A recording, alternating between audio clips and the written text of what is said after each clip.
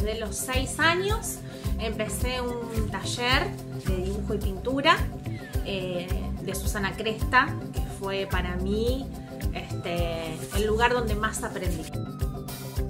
Eh, empecé dibujo y pintura porque iba mi hermana mayor.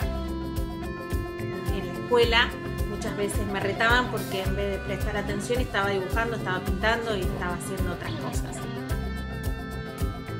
Tres veces por semana me quedo en casa y ahí, bueno, esos tres días pinto, me dedico de lleno a la pintura y me lo tomo como un trabajo.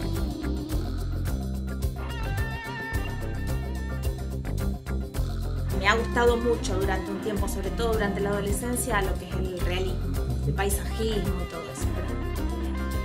Ahora ya no, no, me gusta investigar materiales.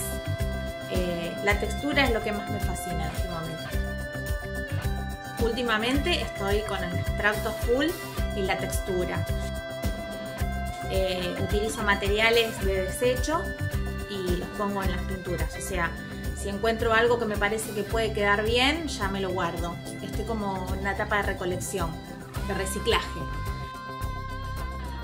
Me encanta trabajar con materiales de desecho.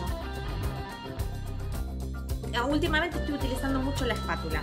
Eh, bueno, pinceles ni hablar. Pero utilizo trapos, eh, muchas veces manos, con guantes. Si no tengo un pincel, agarro cualquier cosa. Rodillo, lo que encuentre. Muchas muchas las manos. Eh, muchas veces me inspiro en lo que estoy escuchando, en la música. música. La música va con mis cuadros. De hecho, muchos de los cuadros tienen algunas frases o palabras de, de la letra que estaba escuchando en el momento que los pinté.